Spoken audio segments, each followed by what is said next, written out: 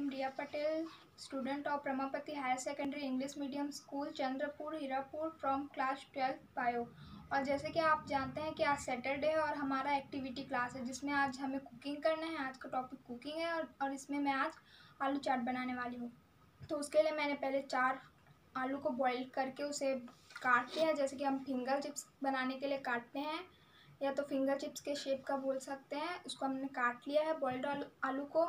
और फिर हमने बारीक कटे हुए प्याज लिए हैं, धनिया लिया है और टमाटर लिया है, जो कि बारीक कटे हुए हैं।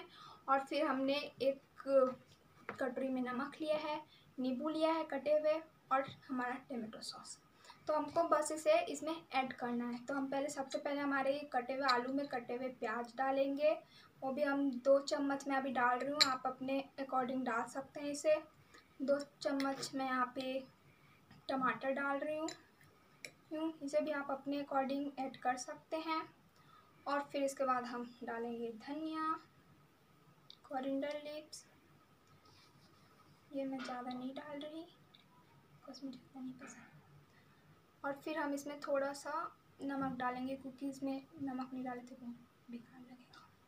तो हम इसमें नमक ऐड करके अब इसको मिक्स कर रहे हैं फाइनली तो इस सबको मिक्स करने के बाद अब हम इसमें पहले मिक्स करने अब ये मिक्स हो गया अच्छे से। अब हम इसमें नींबू निचोड़ेंगे। अपना हाफ़ मैंने हाफ़ नींबू लिया यहाँ पे। जिसको कि मैं इसमें अच्छे से इसका रस डाल दे रही हूँ। और अब इसके बाद अब इसको हम फिर से एक बार मिक्स कर लेते हैं। और ये अच्छी तरह से मिक्स हो गया। अब इसके बाद हम इसमें टमाटो सॉस ऐड करेंगे।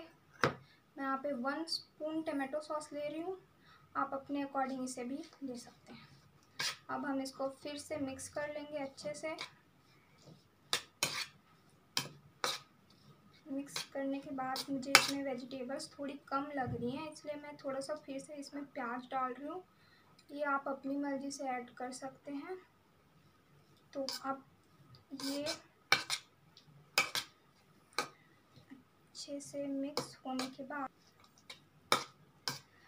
अब इसको हमने मिक्स करने के बाद अब इसको फाइनली जब हम इसको प्लेट पे सर्व करेंगे तो ये सब वेजिटेबल्स और अगर आप चाहें तो इसमें मिक्सचर को अच्छे से इसको ऊपर पोर करके इसको डेकोरेट कर सकते हैं और ये ऐसे लग रहा है जो कि बहुत ही यमी होता है।